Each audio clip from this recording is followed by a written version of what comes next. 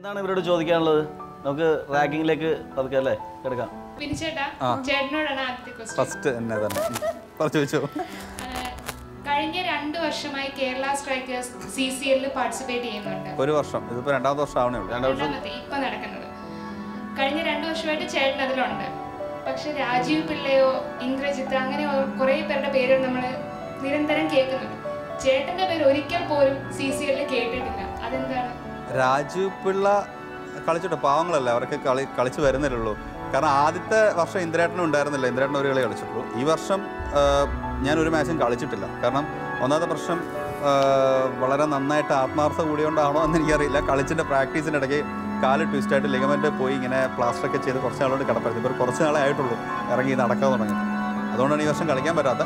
പിന്നെ പേര് കേൾക്കുന്നില്ല എന്നുള്ളത് അത്യാവശ്യം കഴിഞ്ഞ പ്രാവശ്യം വളരെ എന്താ പറയുക ബോളിംഗ് ചെയ്തിട്ടുണ്ടെങ്കിലും ബാറ്റിംഗ് സെക്ഷൻ ഞാൻ അത്ര കൂടുതലും ഓപ്പണിംഗ് ബോളിംഗ് ചെയ്തുകൊണ്ടിരുന്നത് കഴിഞ്ഞ വർഷം കളിച്ച വർഷം അത്യാവശ്യം രണ്ട് മൂന്ന് വിക്കറ്റ് ഒക്കെ കിട്ടിയിട്ടുണ്ട്. ഈ വർഷം പിന്നെ കളിക്കാത്തോണ്ടായിരിക്കും പേര് കേൾക്കാത്തത്. ഈ- ഈ വർഷം മറ്റുള്ളവർക്കായി വിട്ടുകൊടുത്താണ് പാവങ്ങളല്ലേ എന്ന് വിചാരിച്ചു. അല്ല ഇത്രയും കളിച്ചിട്ടും ബോഡി അത്ര നന്നായിട്ടൊന്നും ശരീരം എന്താണെന്ന് എനിക്ക് അറിഞ്ഞൂടാ. കാരണം ഞാൻ ഭക്ഷണം കഴിച്ചില്ലെങ്കിലും പച്ചവെള്ളം കുടിച്ചാലും തടി വയ്ക്കുന്നുണ്ട്